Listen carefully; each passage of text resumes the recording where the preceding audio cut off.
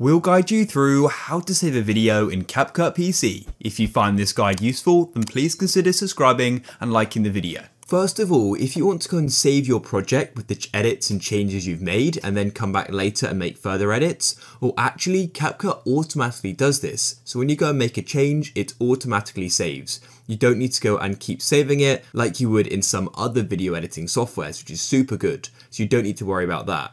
However, if you finished editing your video and you now want to go and save it um, and maybe publish it on um, some sort of platform, then all you need to do is go to the top right and go and click on export like so. You'll go and get this pop up and you can go and choose the name of it and then you can go and choose where you want to go and export it to. Now you can go and choose the quality, so I want it to be 1080p and then for the frame rate, I'll go and set it to 60 FPS. For the format as well, MP4 is super compatible, the bitrate and codec shouldn't really need to change them.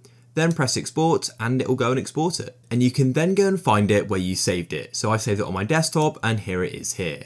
So if you guys found this useful, then please leave a like.